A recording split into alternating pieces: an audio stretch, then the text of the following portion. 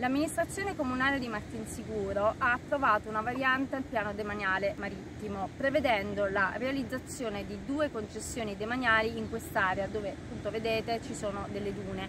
Quindi di fatto non è stato tenuto conto il piano demaniale eh, regionale eh, che invece ne prevede la tutela. Tra l'altro in queste zone nidifica anche il fratino che è tutelato dalla Convenzione di Bonn. MV, l'IPU e SOA chiedono quindi all'amministrazione comunale di annullare l'atto consigliare perché non è stato tenuto conto della valutazione ambientale strategica.